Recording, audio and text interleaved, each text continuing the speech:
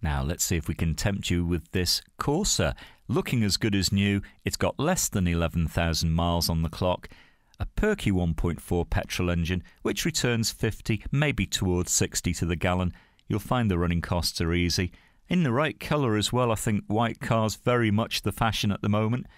And a very sleek looking car. Five doors, so you'll find it easy to get in and out of. Cloth interior with aircon and cruise control. So, all the right ingredients to keep you happy and a great set of alloy wheels as well.